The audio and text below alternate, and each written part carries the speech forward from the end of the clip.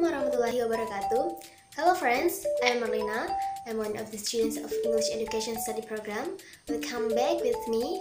So, uh, in this video, I will explain about quantitative and qualitative research on English language teaching. So, there are some parts that we have to know about this topic. So, enjoy the video. Check it out.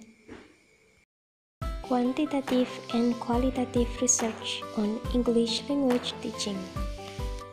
Research approach and qualitative and quantitative research.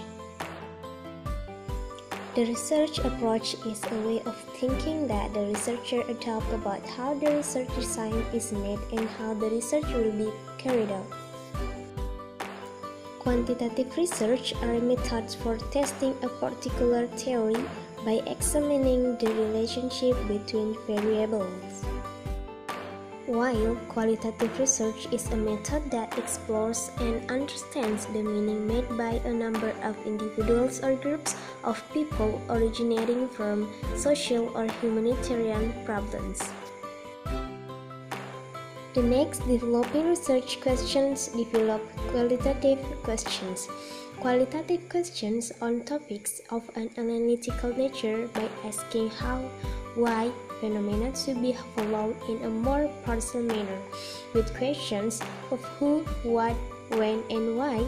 The basis from quantitative development is grouped into three forms, namely descriptive and comparative.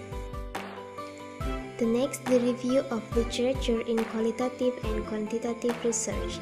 Literature review in quantitative and qualitative research has a function and reveals research similar to the research that will be carried out, and helps provide an overview of the research methods and techniques used in research.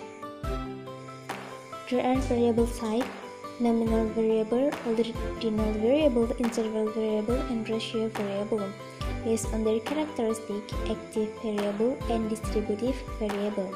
Based on the function, dependent variable, independent variable, moderator variable, intervening variable, and control variable. The next hypothesis. Hypotheses are results or conclusions determined from a study that are not necessarily true and will only be true if they are equipped with valid evidence. Sample taking techniques.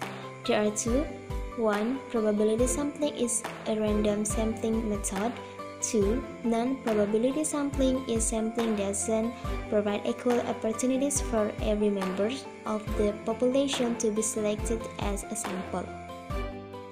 Data learning techniques can be through interview, observation, field notes, and focus groups discussion. Qualitative and quantitative reliabilities and validity. How to test it? Qualitative, credibility test, dependability testing, confirmability testing, and transferability testing. Quantitative, test retest, equivalent, and internal consistency. Quantitative data analysis is a method used to answer research problems related to data in the form of numbers and program statistics. There are two quantitative data models analysis parametric and non-parametric. The inferential statistic is a C-series of techniques used to assess, study, and draw conclusions based on the data obtained from a sample to describe the characteristic of a population.